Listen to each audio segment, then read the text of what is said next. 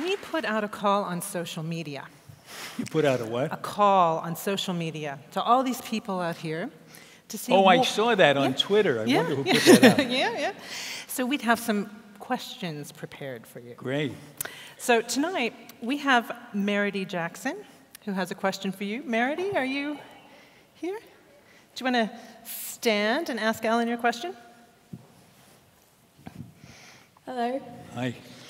So, Alan, as an actor, what impact do you think that television can have in the public awareness of scientific issues, and how do you think that that can best be used to get issues across to the public? Well, first of all, if it weren't for MASH, I wouldn't be here. we, as a matter of fact, bringing that show up is, a, is an interesting uh, example that I, I realize as I say it. We, we learned in the first couple of weeks that we had to have a professional nurse on, on the set when we did the surgery because we were making these egregious mistakes. We were going from one patient to another without changing our gloves. I mean, the people we were operating on would have been dead within a few minutes. so we had that. We had a, a, a doctor going over the scripts to make sure that everything was accurate. It, it, it doesn't always work that way. The, the role of an advisor to help keep you straight and keep you informed it usually works like this. The advisor says you know you really shouldn't do it that way. And the producer says thanks thanks for your advice. And like that's it. I think it can have an effect in a subliminal way if you show a respect for science and avoid stereotypes like the, the mad scientist and show people solving problems in a rational way. It's, it's like what I'm always, I'm always um, annoyed with on a, on a detective show. They completely left behind the model of Sherlock Holmes, who was a rational person and picked up on clues. And now you can't have a detective show without the hero saying, I have a hunch about this. And the hunch is what solves it. The hunch is the beginning. First, thing, then you got to test it out. So I think it. I think there's some value, but what do you think? Do you think? Well, how about you? You're you're you're more of an expert in this than I am.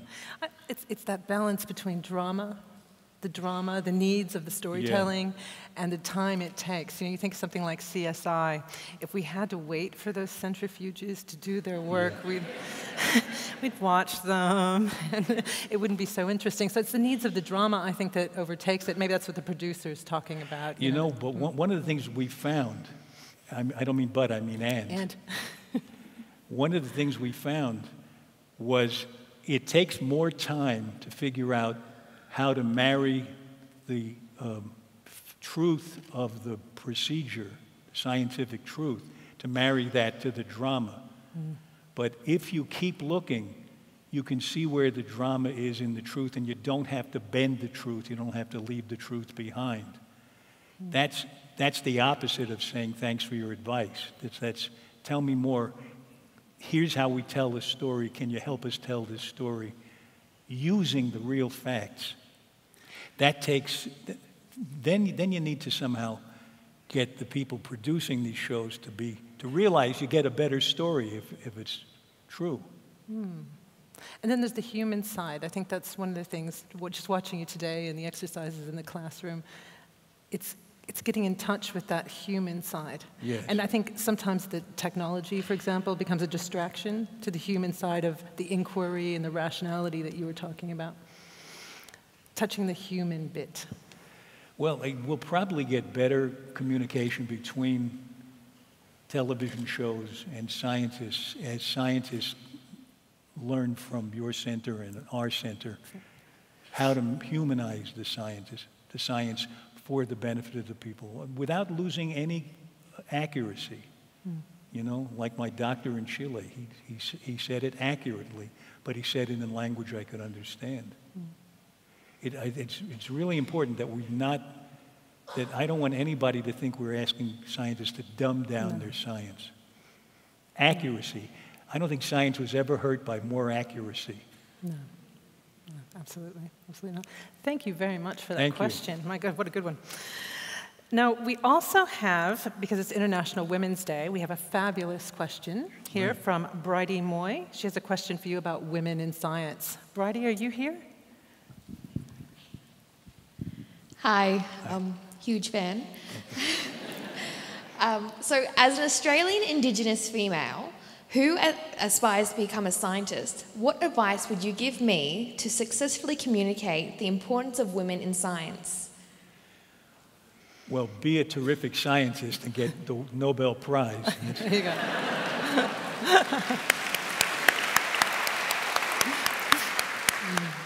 you know, it's interesting.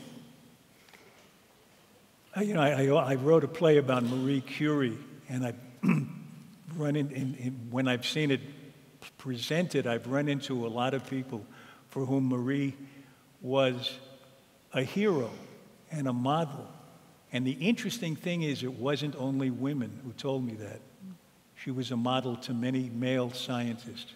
She was a model to me while I was writing it because she's somebody who never gave up. And you're going to never, you're going to have to never give up too. You're going to have to go through fiery hoops that men don't go through. They don't have to. There's a horrifying article in uh, this past Sunday's New York Times about mash notes that women scientists receive from colleagues or from mentors, which is really scary. People who can hold them back by not giving them a good recommendation. Letter, the first letter is often very similar. All these letters seem, seem you, you may have, you saw that I article. saw that article. Hmm. The idea that the letters are typical. The first letter is, I have to tell you my feelings. Well, who asked him for his feelings? And then the feelings turn out to be uh, that he's obsessed with her and she's going to have to live with that.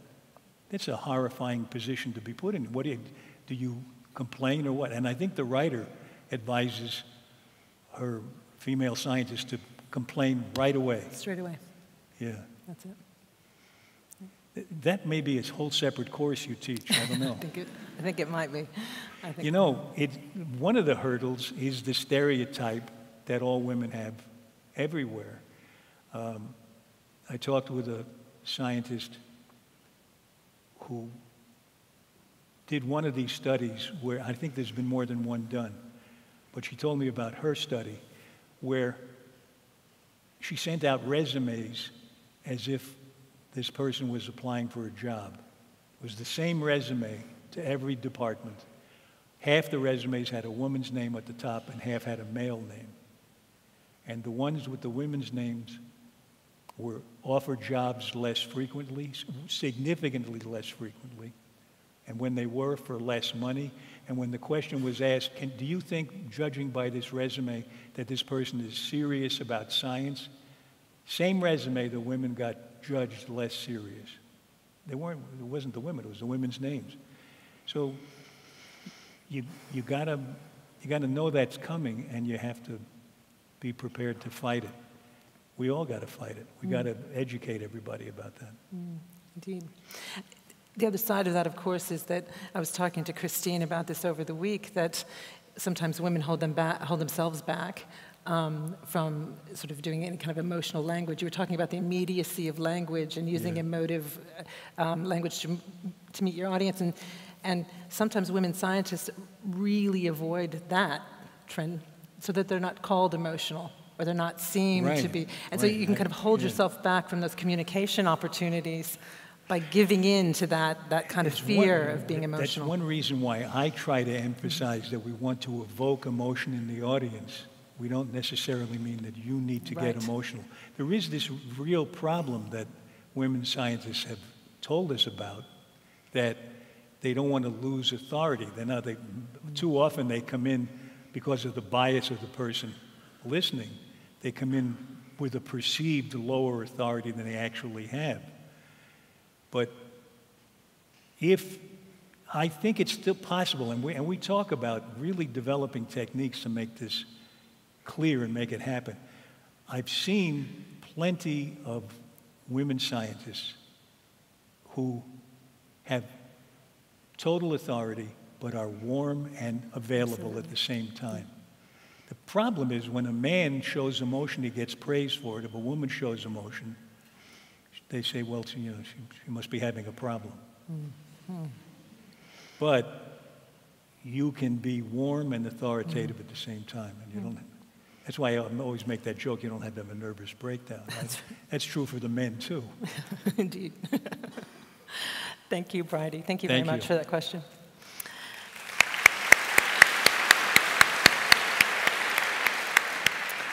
So, as part of our social media communication with everyone, we, we ran a little contest about what science experiment people would like to do with you.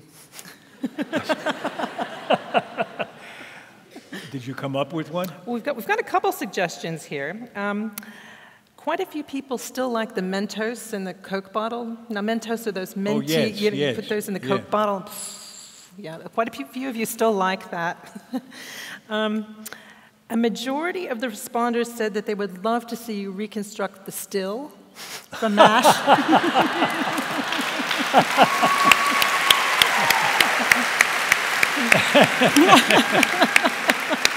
That's funny.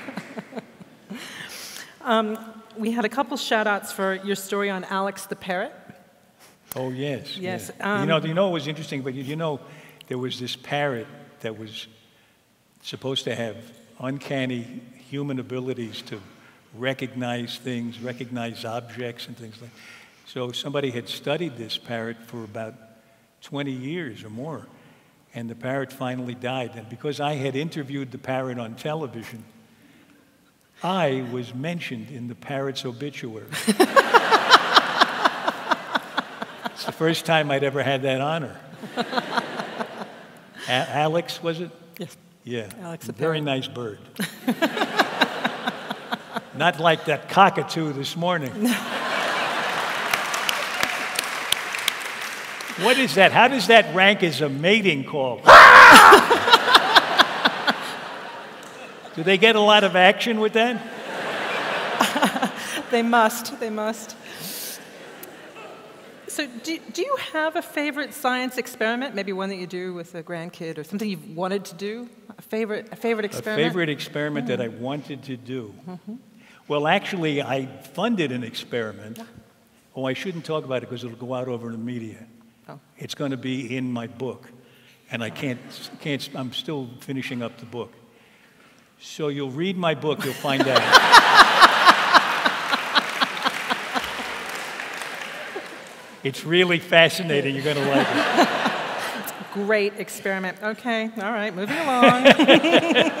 got, got the pitch in. Um, okay, so Renee Hamilton has a question about science communication, a, a, a question near and dear to our heart. Renee, are you here? Yep. Great. Uh, hi, Alan. Where are you? Uh, here. Oh, hi. um, what two or three events or issues do you see as our biggest failure in communicating science effectively? I missed half of that. So, what are, what are the big issues? What are the failures? What are the big issues oh, that make well, us fail at science I don't know if you have the same. Well, I know you have global uh, warming, climate change here as well as we do. Do you have this problem with vaccination here? Sadly, yes. It must be worldwide because it started in London, I think, and totally uh, disproved that, that, it, that it leads to uh, autism. Mm-hmm and yet it still hangs on. The people who, it's an interesting problem. The people who are telling the story that there's a problem with it have a more vivid story to tell. It registers in your mind. You can see their child, you can see their emotion.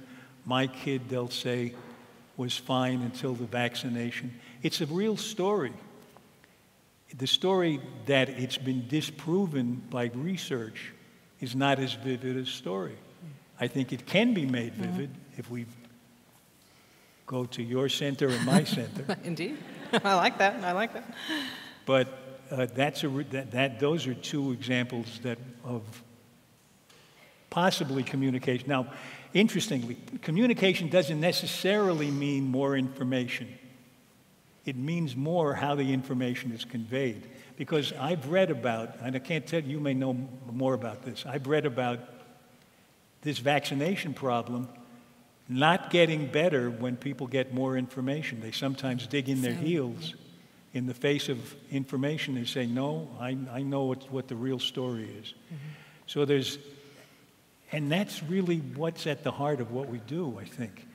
It's not just spraying information at people, it's getting in touch with them in a way so that you reach them. I, while, while Christine O'Connell from our center, the associate director of our center, was doing her workshop today, I was hoping I wasn't inter- interfering with your workshop because I was writing down things she was saying. Because I had never heard her say this before. She said, writing a paper isn't communication, it's getting them to understand it, reaching them with it, getting into the other person's head. That's communication, rather than what I am always complaining about, which is spraying information at them. You know? mm-hmm. What do you think are the, the big issues that are? Well, I mean, along those lines, I mean, one of the biggest issues, of course, is trust. And if you start from the position that um, scientists don't want to communicate, or researchers um, are, are, are, sort of uh, in a different position from the audience, right? That radical kind of thing where scientists can't communicate, the public doesn't want to know. If you start with that expectation, I don't think your communication future is probably very bright. And so those trust issues, those social trust issues, yeah. I think are very important. Um, I also, you know, you touched on risk. Um, risk. You touched on risk as an important issue. And you know, when, once um, a risk is identified, it's very difficult to kind of work around that. Yeah. So if people think that they're putting their children at risk, for example, in the vaccination case, yeah. that's a very that's a big barrier to communicate around. there's, an, there's, another interesting issue of um, modified, genetically modified food. Mm. From what I read as, as a total layperson, I get the impression that there are concerns about that. Of if you plant a field of something, are you sure it's not going to get to another field? Mm-hmm. But eating food that's been genetically modified, it seems to me is there's no evidence whatsoever that it's going to do it. But in fact, as we always hear from the people who know, we've all been eating genetically modified food for centuries. Sure. It just hasn't been done in a test tube, but it's been done. In the in the farm. But what about so what so my my question I'd like to hear mm-hmm. your your feeling about it. My my my feeling is it's an interesting subject because there may be questions that it's appropriate to ask. I want to hear the pu- public posing the appropriate questions that, are, that do represent real risk. I want to see the public involved in raising questions that science has to listen to and respond to. It really should be a two way street because they're going to be using the science. So they, they, need, they need to be asking questions about do cell phones cause cancer, but they need to be listening to answers that they can trust. Absolutely, but you, you know one of the one of the things that puzzles me a bit is the limited number of forums that that can happen in. Yeah.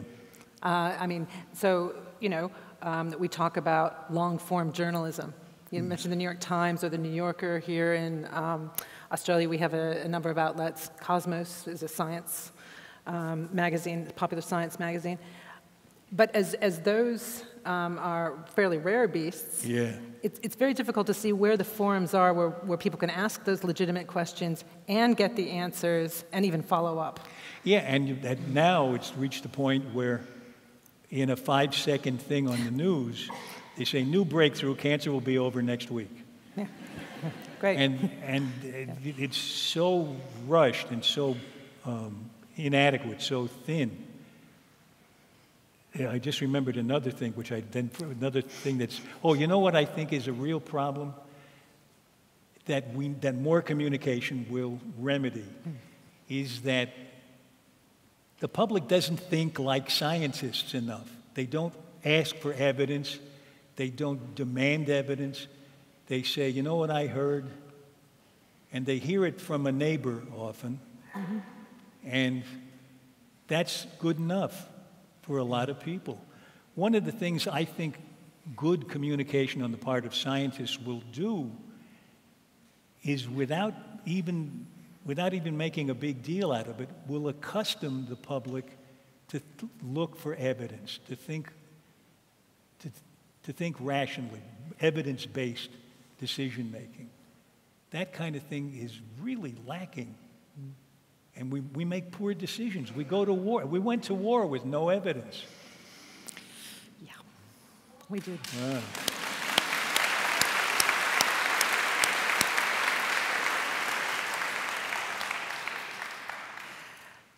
So, Alan, no, today we did a very interesting exercise with uh, you Wait, and I Christine. didn't say that again? We did an interesting exercise today with you and Christine, one of your improv treatments. And I wondered if we could do a mass improv experiment. Okay, which one do you have in mind?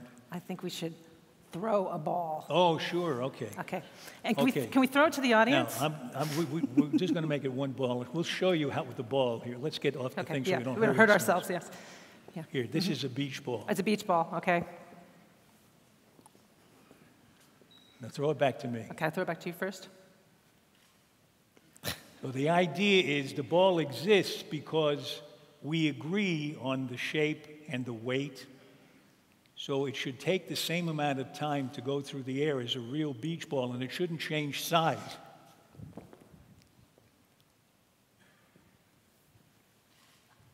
Okay, pass it around the audience. Oh, good. Stand up, pass it around. Here it comes. Oh, nice one. Whoa, look at that. We got beach balls everywhere. It turned into 17 beach balls. Great. Oh, thank you. thank you. Are we done? Yeah. Thank you. That was great. Thank you all for coming. Good night. Ladies and gentlemen, thank Alan Alda. Thank you.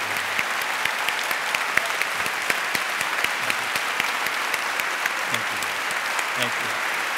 Thanks so much. Thank you. Welcome.